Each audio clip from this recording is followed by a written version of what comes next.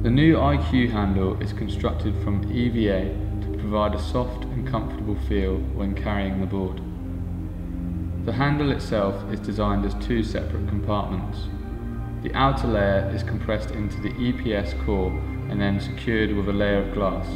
The EVA handle is then fitted into the box, sealed with a layer of silicon. This means the EVA handle is not fixed internally to the board, eliminating the chance of cracking or damaging the glass of the EPS core. The large size and inside grip allows for generous hand sizes to produce a great fit.